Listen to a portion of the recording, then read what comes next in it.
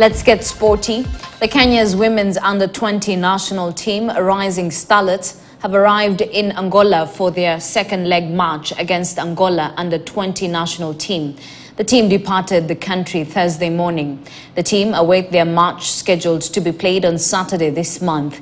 Kenya thumped Angola six goals to one in the first leg match played at the Nyayo National Stadium. Should Rising Starlets advance to the third round, they will face the winner of the second round clash between Cameroon and Botswana.